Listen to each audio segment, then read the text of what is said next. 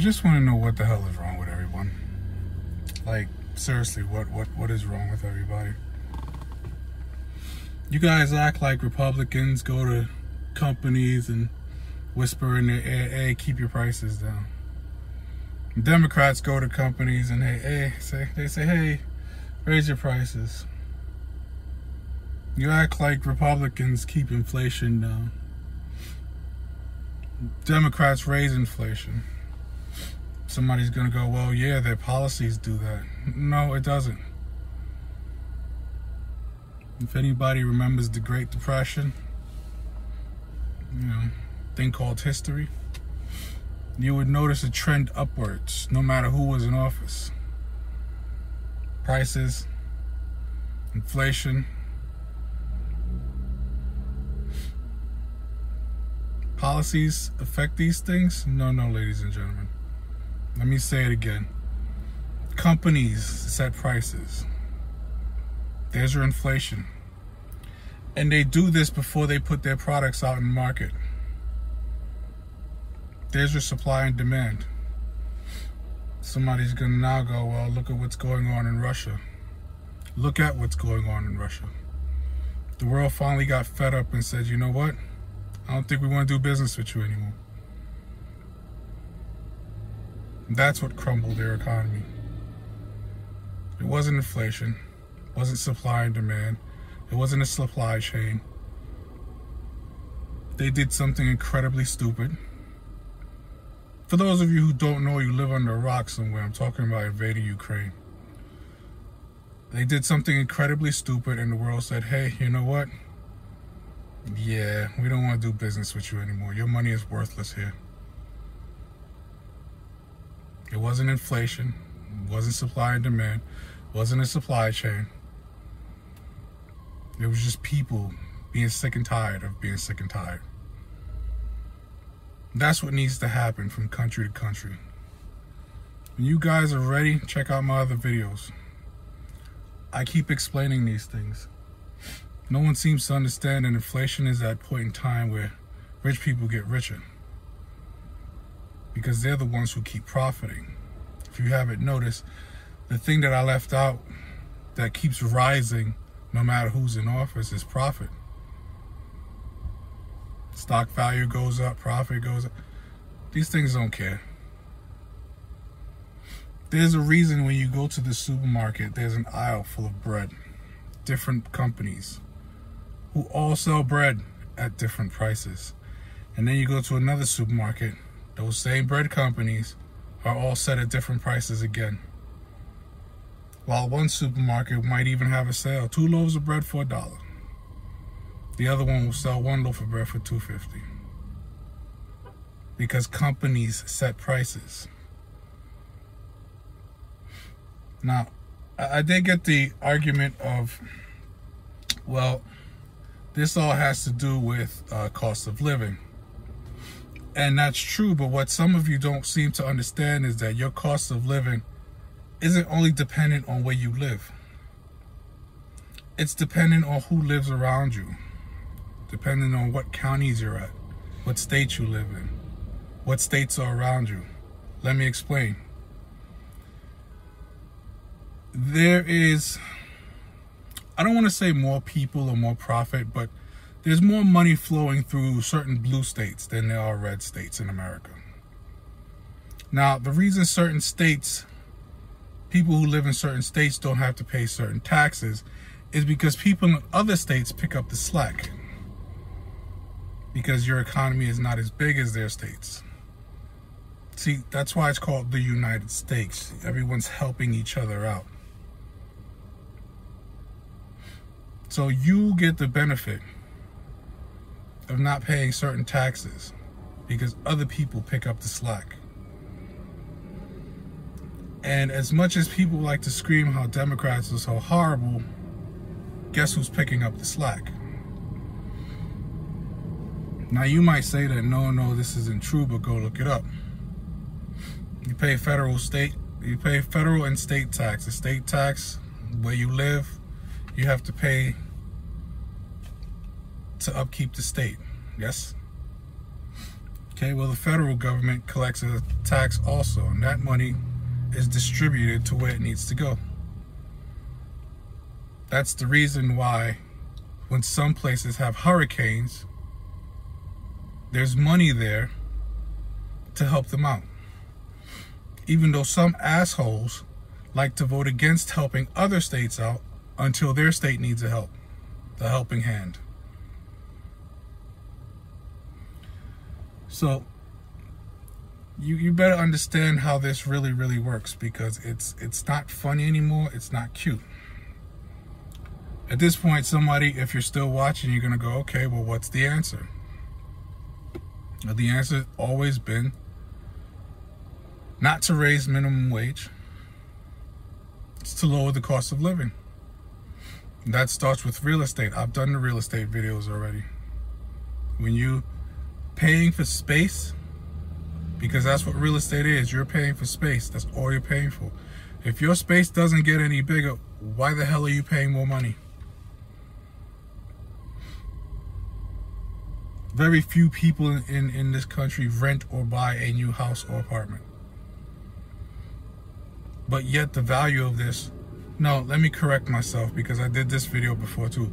The price of these things go up. The value doesn't go up. Go check out my other video. I did that. I explained how the value doesn't actually go up. But I'll do a quick summary right now. The value doesn't go up because of inflation. The money has less value today than it did yesterday. Therefore, that the, the money you're taking when you sell a house today doesn't go as far in the world as it did yesterday. That's why the value of real estate doesn't really go up only the price. Back to the economy. I seem to be one of the few people who, who seem to understand that the more that people can easily afford to live, the more that they can spend money on whatever garbage it is you're selling. Because let's be honest, I did this video also. The economy, and when I say the economy, I mean the world. 90% of it is based on luxury spending going places you don't need to go and spending money on things you don't need to spend it on. It's the reason people have 20 pairs of shoes and three cars, clothes with tags still on them in the closet. We've all heard people. I just came from this place. We've all heard people. You got a gym membership you never use.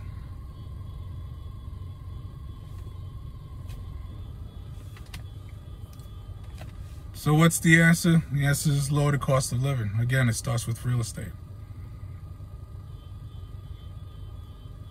Real estate people hate me when I do those real estate videos, and that's fine.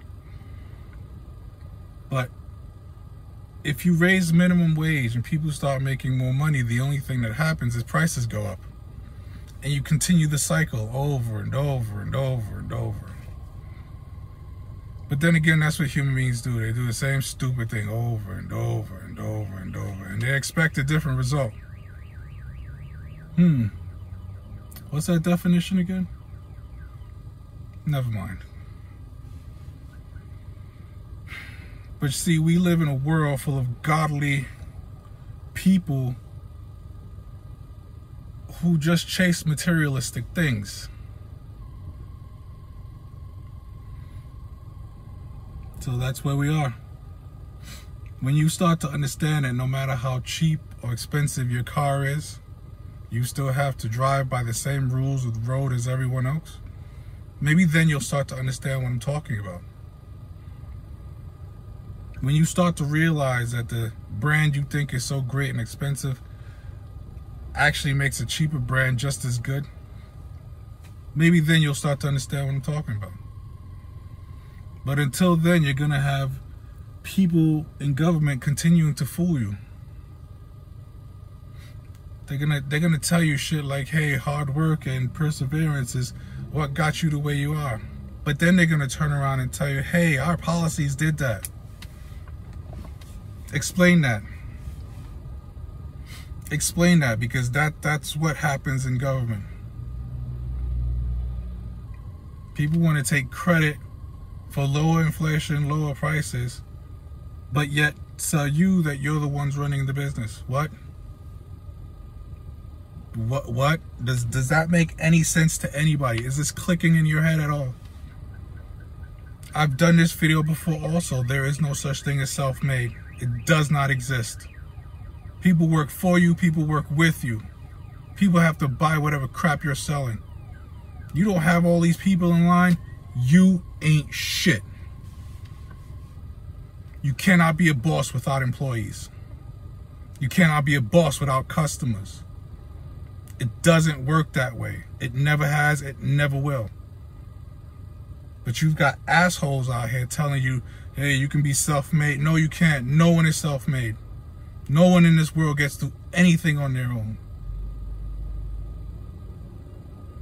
Again, this is something that I shouldn't have to tell the godly people of this world either. I've said this before. I don't want to do these videos. If this world was a different place, I would not be doing these videos at all. I'd be somewhere sipping on a rum and coke. But I got a little time. I'm waiting right now till my food is ready. So I make these videos. Do do whatever you want with these videos. I don't care because it really doesn't matter. You're gonna listen to me, maybe agree, maybe disagree. But let's be honest, no matter what's going on in the world, you're gonna go back to doing whatever it is you do. Okay? I'm going to leave you with this. There was a quote by uh, George Carlin. I think it was, yeah, George Carlin. I think I actually posted this. And it said, um, I'm going to paraphrase, but the gist of it is basically to question everything. Here's the problem with that. When you question everything, you never get any answers. So the answer isn't to question everything. The answer is actually recognize the scam. So let me just do this part again because I've done this video also. Haven't you ever noticed that no matter what's going on, war, famine, disease, racial tension, police brutality, riots, whatever it is, no matter what's going on in this world, it, it's nuclear threats. No matter what's going on in this world, it is always a good time to buy a house. Recognize the scams. Now, before one of you jumps on me and goes, well, what's wrong with owning things? I've done that video too. I don't know what your definition of ownership is, but you better look at it again.